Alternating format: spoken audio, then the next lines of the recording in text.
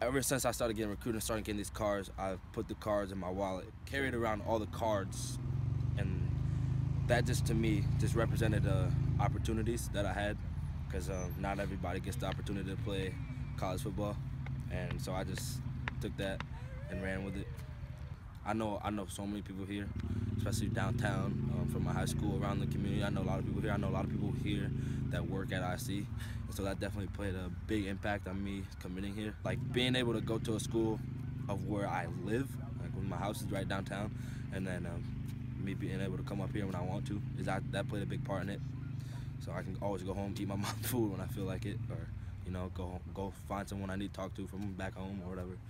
But um, that played a big part. I mean, I go from getting every snap, playing every snap in high school to just playing special teams. I mean, not every freshman even, not even every freshman is even on varsity. So I've got the privilege to be on special teams, taking that. My goal right now is just to be patient, because I mean, right now I'm behind an All-American.